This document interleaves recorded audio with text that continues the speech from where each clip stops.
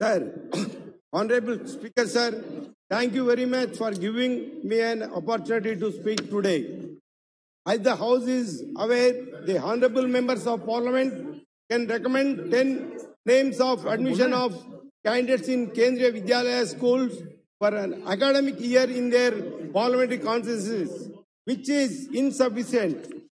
With much consent, I would like to draw the kind attention of the House that there will be around 7 lakh of population is parliamentary consensus and the consensus which are surrounding to metropolitan and other cities have hug population are more than 10 lakh also and my Mahabubnagar parliamentary constituency which is near to Hyderabad in Telangana state is one among them.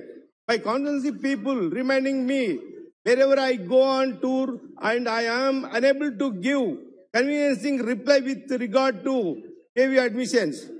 Not only me, but the entire August House will agree with me that all almost all the MPs are facing lot of pressure, pressure from all walks of this admission of their words in KV schools and especially there is lot of demand from the poor and middle class people.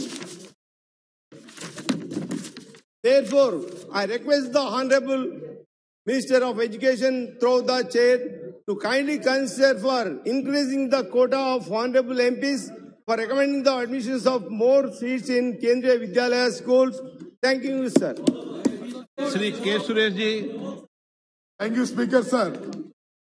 Sir, in Kerala, the Pinarayi Vijayan government is